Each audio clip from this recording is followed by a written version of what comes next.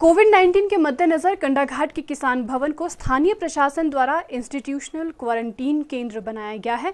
इसमें स्थानीय प्रशासन द्वारा क्षेत्र के अन्य राज्यों से अपने क्षेत्र लौटे लोगों को 14 दिनों के लिए रखा जा रहा है। गुरुवार को तहसीलदार कंडाघाट ओपी मेहता ने इस क्वारंटाइन केंद्र का निरीक्षण किया। वीरवार को तहसीलदार कंडाघाट ओपी मेहता ने इंस्टीट्यूशनल क्वारंटीन सेंटर का निरीक्षण किया और इस दौरान उनके साथ नायब तहसीलदार भी मौजूद रहे। तहसीलदार ने सबसे पहले रजिस्टर की जाँच की, जिसमें इंस्टीट्यूशनल क्वारंटीन सेंटर में रह रहे लोगों की जानकारी लिखी गई है।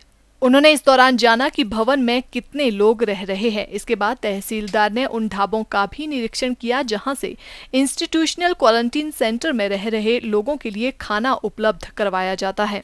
जाँच के बाद पत्रकारों से बातचीत के दौरान तहसीलदार ओपी मेहता ने कहा कि इंस्टीट्यूशनल क्वारंटीन सेंटर में सभी व्यवस्था सही पाई गई। उन्होंने कहा कि ढाबों में भी सरकार द्वारा जारी निर्देशों का पालन हो रहा है।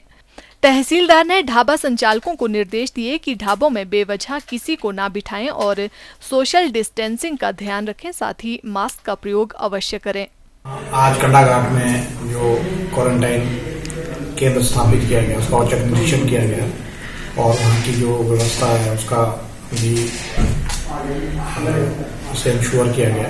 और इसके साथ ही जो कंडाघाट बाज़ार में है होटल है और दूसरी दुकानें हैं पब्लिक प्लेसेस है उसका भी जो है निरीक्षण किया गया।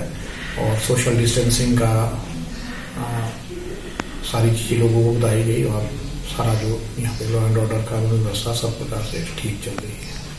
सिटी चैनल के लिए कंडाघाट से ललित वर्मा की रिपोर्ट।